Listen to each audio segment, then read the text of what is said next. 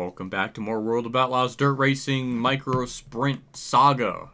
As we're continuing on through the season, we only got like five races left essentially. We dropped down to seventh because Elm Creek is impossible to drive. We got Fairbury coming up. It is a try-hard typical showcase. We had a showcase earlier in the year, except there was no tryhards in it. It was just all the regulars. So I don't know, but we do got an advantage because we have to go all out apparently for this this particular series. Full blown custom setup at Fairbury. I'm at to look that up. There is a video of it online. Thank God that that, that exists. What's unfortunate is not every track there's a setup. It's like Elm Creek, there isn't one. There's not one for Millbridge. I don't even think there is one for Grant Park, but there's a couple. Maybe if I dig deeper, maybe I could find more. But we're gonna go into Fairbury because uh, that's the next race. But let, let's try to just go all out because that's apparently what you gotta do in this this particular series for how radically imbalanced you know Elm Creek and Millbridge is. So I don't know. We'll find out. All right, that's a full custom setup. I just looked it up online, so big props to the driver 21 for making this because I would be so screwed in this particular series, so I didn't have anything. So I'm just gonna do some laps, get used to it, and I'll I'll come back and give you an update. Well, I can definitely say right off the bat as a quick first impression, the leaning to left isn't as violent or is as prominent in this setup. It almost seems like it wants to... It turns a little bit easier to the right, too. It it definitely handles good. Uh, lap time-wise, it's about two-tenths quicker than the goal time, which... Again, I thought that was good enough for uh, Lima Land, but that didn't really translate to good race trim speed, so I have no idea anymore. Uh, the wing is set to negative 5. I think that's what it was set default-wise, or at least that's what it was in the setup, so I'm not going to touch that. But, yeah, we're just smacking the goal time with the goal times the top 10. So, I don't know. I guess we'll see what we could do in the actual race itself, but let's get into qualifying. Alright, so I don't think we're going to hit our goal time. That's because qualifying, they always... Hold on. That was a 10.8. Alright, that was actually better. I was going to say, I didn't think we were going to get it. So that's that's promising. It's really sad this is what I have to do. This feels like it's, it's kind of cheap to do. But if the game's not going to give me any option, then we're just going to get down and dirty, roll around the mud a little bit, and just, hey, pun intended, because we're dirt racing, but... And that's what, just what we got to do if default setups don't work, then uh, this is th this is the only option. And even the rear end ratio, that don't work, then this is our only choice. So, yeah. I still don't think that's going to make much of a difference when we go to, like, Millbridge and Elm Creek. Just because even if we, like, run extraordinarily good here, like, top three speed, it's all going to fall apart at, th at those two fucking stupid-ass tracks. So, there's still a chance winning the championship may just straight up be impossible on a 100 difficulty. Because I'm sure if I just lower it to 85, then yeah, I probably will win a, a, a championship in anything. But then, that's just, I'm not lowering it anymore. I am not being a bitch and lowering it any further. I want triple-digit greatness, not double-digit wimpness. Also, we are really trying to get second place here to get into the qualifying dash, but no, of course that won't happen. That's, you know, asking for too much. So we'll just start right around 9th to 13th or something. Oh, no, no, 14th. Okay, it's even worse than what I thought. Man, this game's a bunch of bull honk. That's six spots that we lose on track that we really, really needed. Do I gotta have like a like a like a like a regional car? Like a level four everything just to be good local? But then when we get to national, then we're going to be coming across like the same issues that we're having right now. Just the cars will be a lot faster. So I don't know. It just doesn't give me much vibes. But hey, race trim's a different story. Maybe we'll do something. This is a showcase. That's a flip right beside me. So that'll be another typical, you know, bull, bull honky yellow. And of course, of course, that's the other thing too, with this particular series in the showcase races, there's not really any, like, regional people coming down into this. It's just all the local ones still. That usually would kind of give us a good buffer, because usually be like the top 12 would be just all, like, the higher up regional people or something. But then the locals are kind of just struggling in like 13th or something. That's usually the tracks we can always guarantee to like run well because we can actually compete with them a little bit. But not so much here. It's just crazy. It is just absolutely crazy that... Oh God, another wreck. Alright, that's two cautions. I was gonna say, it's absolutely unbelievable. Even a setup, even a setup, a full setup! We can't, like, do much with it. Like, I mean, maybe, I, I mean, I guess I really should have compared and contrast, like, a default setup to this to see how much faster it was gonna be. But the fact that a level 3 everything in local series, like, isn't enough is, I mean, I don't know if that's glorious game design or really fucking stupid. But in order to win a championship, I have to run better than 10th or 5th. If they're just going to run like 3rd and 1st all the time, I don't know anymore. But hey, we're getting spots on the start, which is nice. So uh, maybe we'll, you know, get a top 5. Unfortunately, Jerry Anderson is way up there.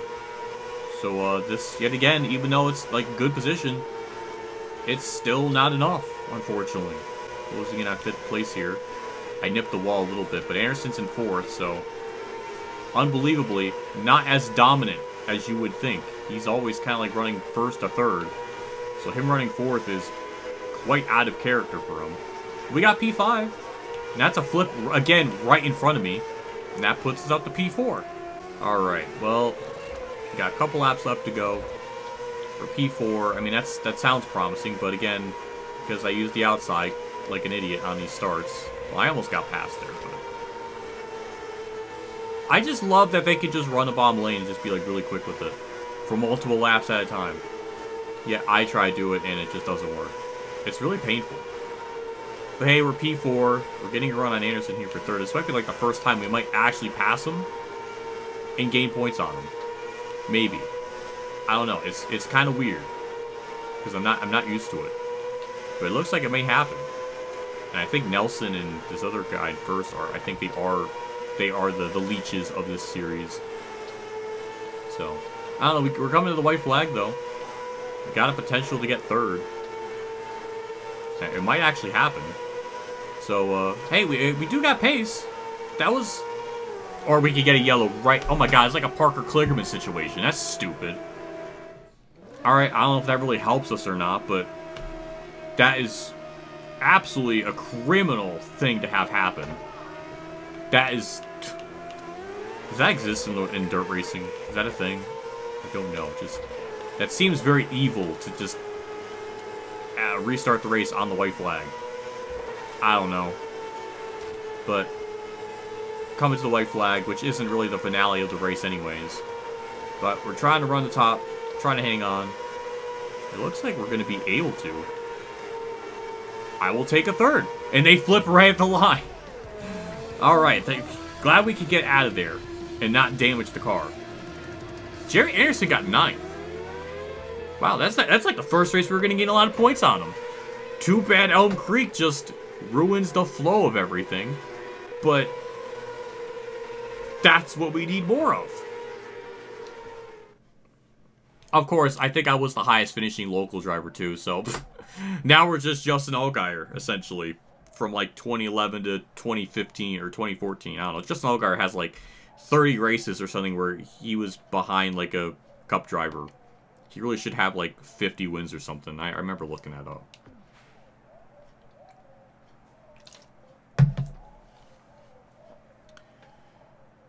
Still fifth in the points.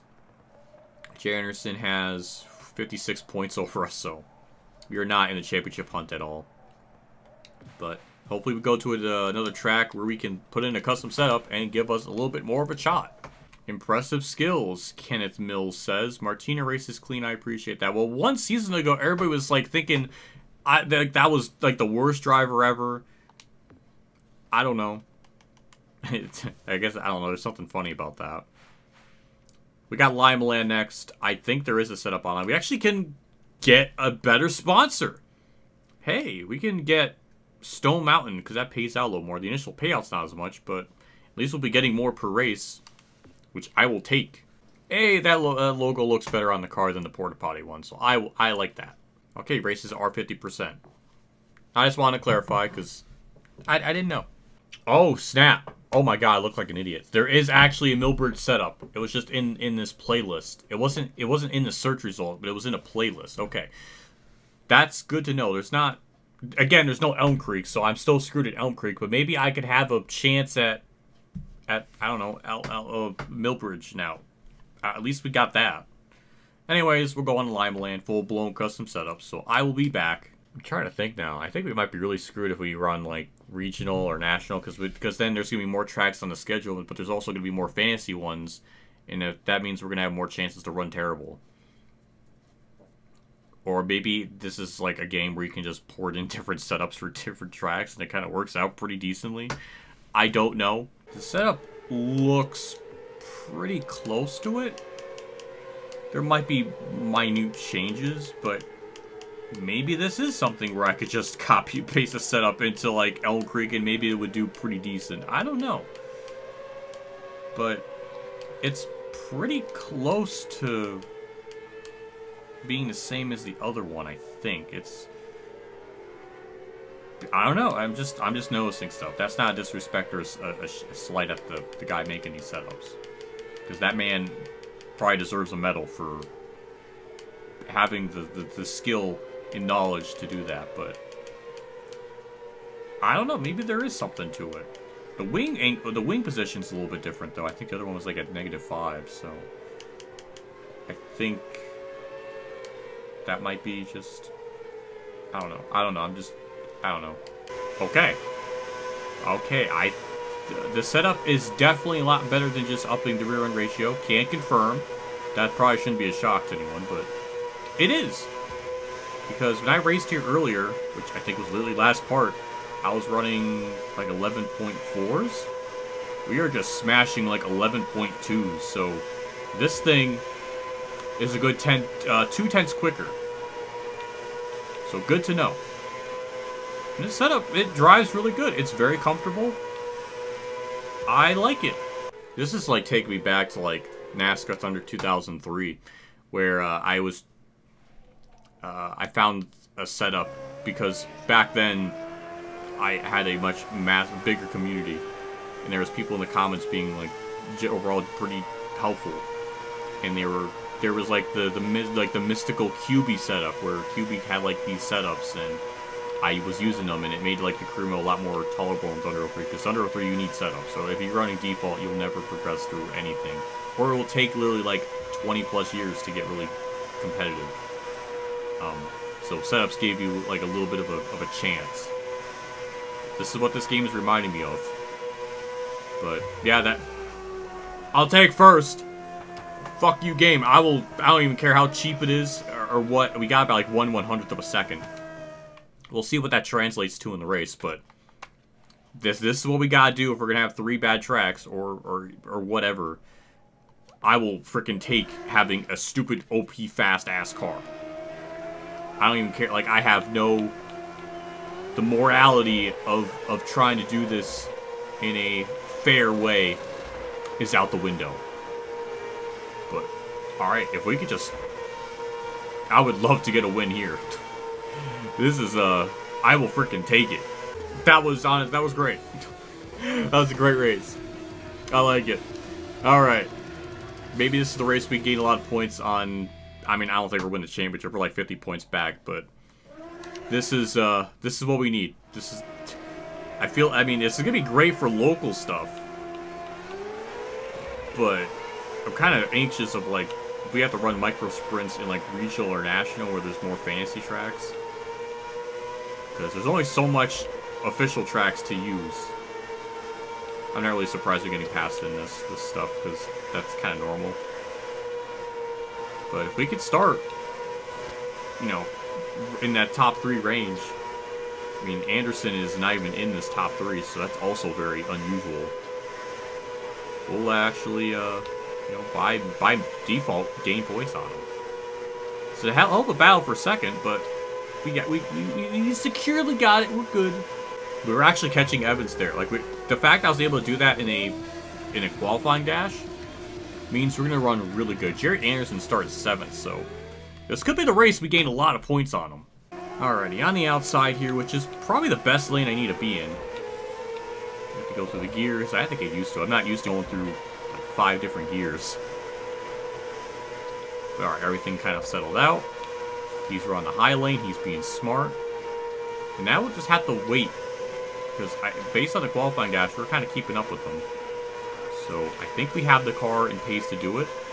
In fact, we'll just go up a lane higher. We actually gave him a little freaking bump and nudge. A little, short track stock car action there. But Hey, that's where Martina Truex's father came from. And his daughter is just from a different world. Now we're just going to try to pass him straight up on the outside. And we did it. Hell yeah, let's just win this. Screw this game. I'll, I'll take a win however I can.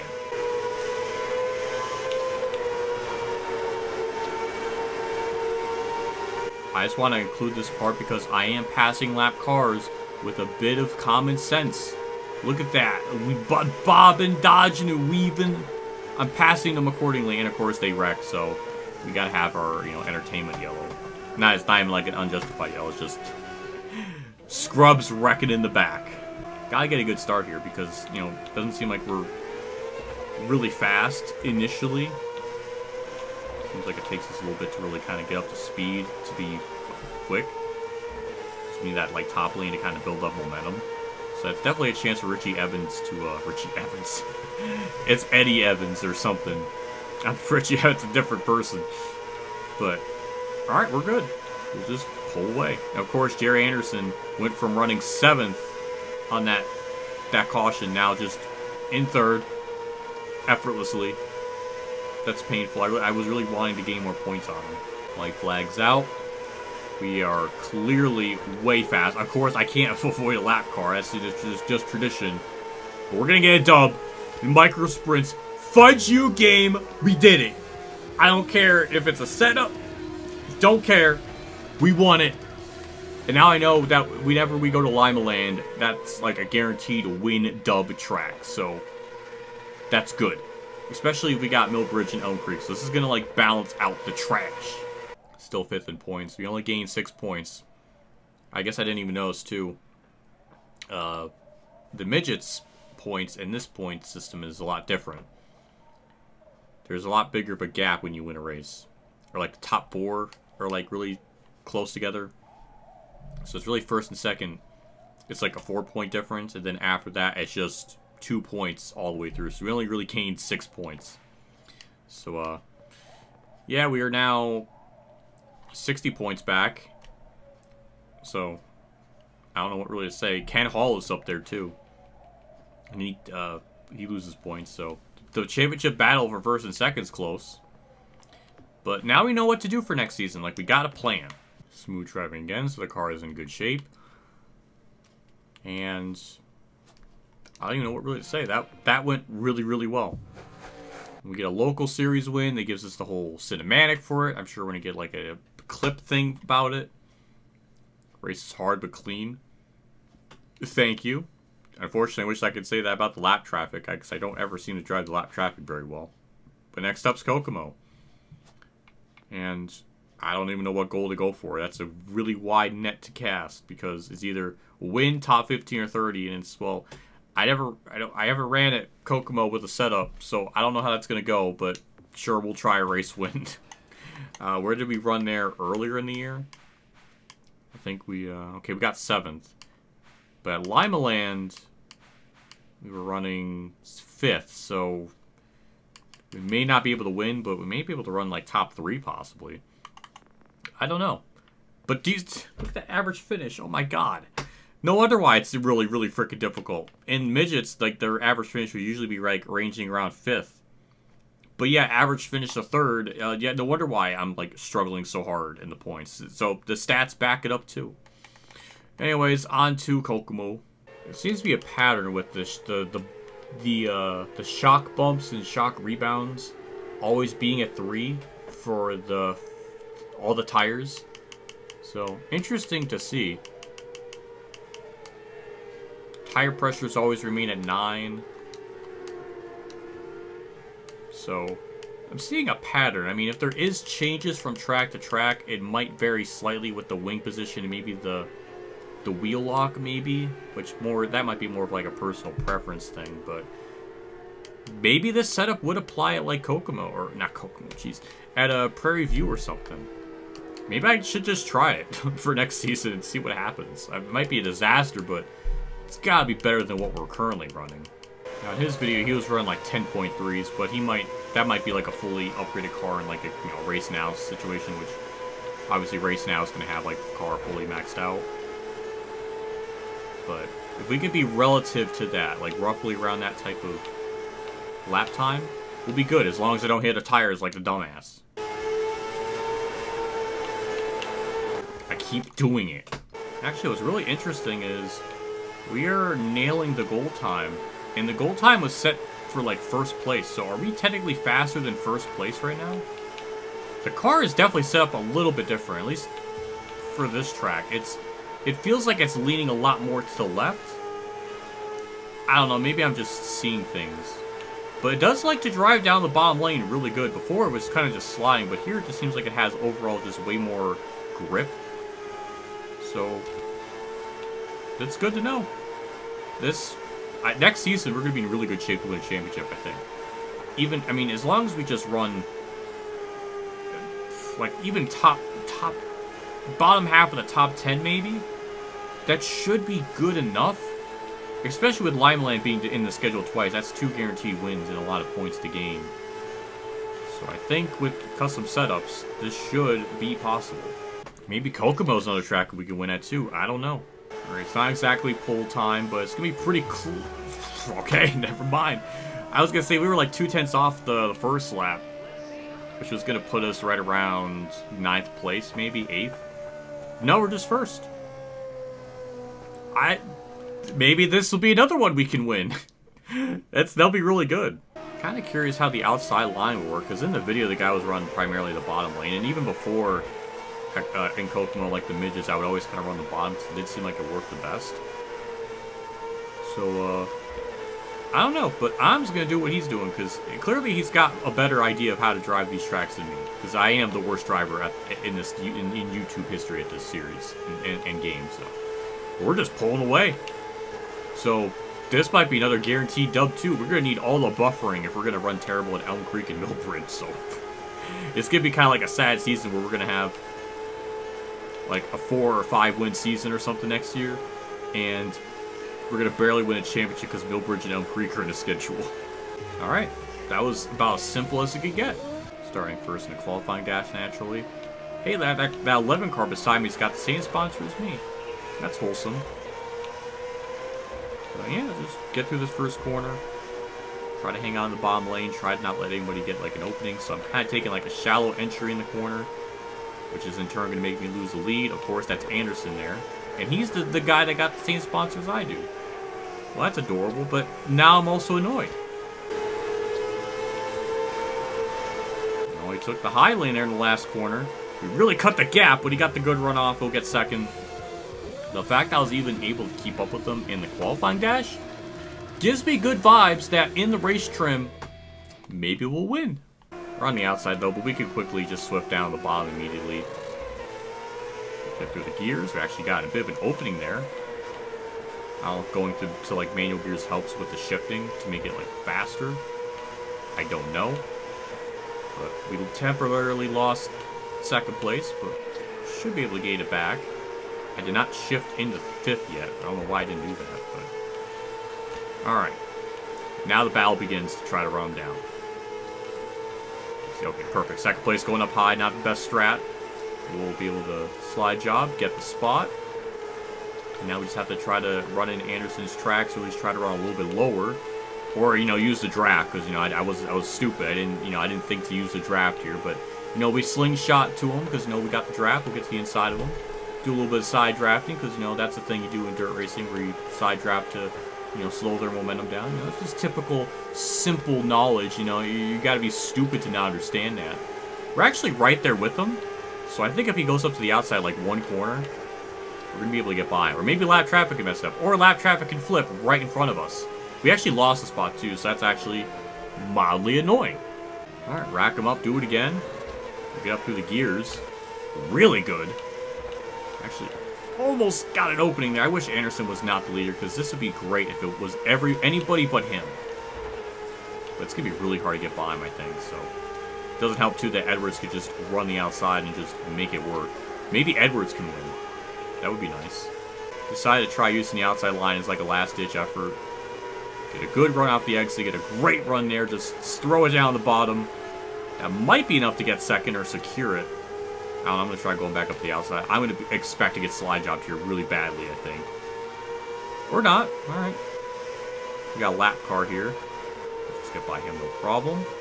Take it back up to the outside lane. I don't even know if the outside line is running like any better.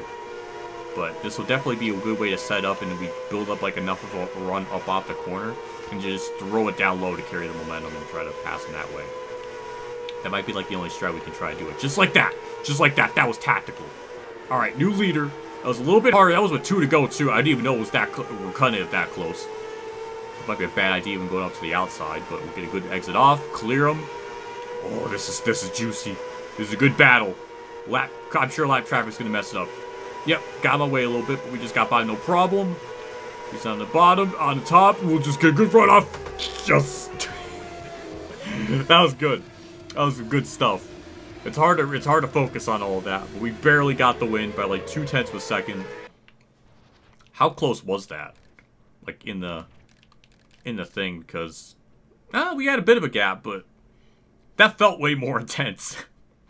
that's good. That that's what I expect out of a out of a car like this with the rating that we have. Like maybe that we're not just gonna you know dominate, but he gave me a good fight. That is good stuff. Want to point that out for people think I'm always negative. That good stuff. And that's a dub, too. So now we know Kokomo is a really good track for us with the setup. So, man, we, we get, I mean, we only gained four points. And that's still, what, 56? We're still, ugh, 56 back, I think. We're really not gaining a whole lot of points because it's just, it's just not enough. But next season we'll definitely have a, a real, a real honest to god shot. So that's good, and we're baking up more money, good merch sellings, all that. Like, if we do when we do another season of this, we'll definitely have like definitely more than enough money to go into the next series. Which what what will that be? I guess the big block modified because we actually technically have enough right now. My piece of paper, everything. If we max everything, I'll be like two hundred twenty-two thousand for level three. I think we already have more than that. And we have to factor in the, the mechanic discount with 12%, so we'll be we'll have more than enough to upgrade everything. In fact, we actually just earned more than enough right there in that race, so well, we gotta repair stuff. But point is, by the end of season, technically it's season two, but it's really season three because we had an entire season where we just hired driver because I messed that up at the beginning of the season, beginning of the Grima trying that out. But hey, that's my fourth career win. One one of them was off camera at Sterling County, but career win number four.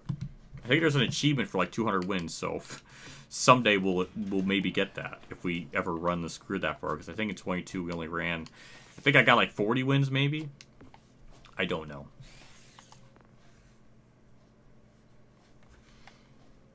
But next part will be Prairie View and then Millbridge. And then that will be it for this season. And maybe we'll... I guess next part would be two Millbridges or something. So we got that to look forward to, I suppose. But for now, uh, we'll wrap it up. So, don't know what we don't have a setup for Prairie View, but maybe I could port in one of these setups in, into that and see if it works. I don't know. I have to experiment with what the like defaults, like what a default setup does normally, and then what the rear end ratio adjustment does, and then we'll have like I'll have to test out three different things to to see. But yeah, we'll figure it out. Anyways, I'm done. See you all next episode. See you all later, and as always, have a good day, everyone.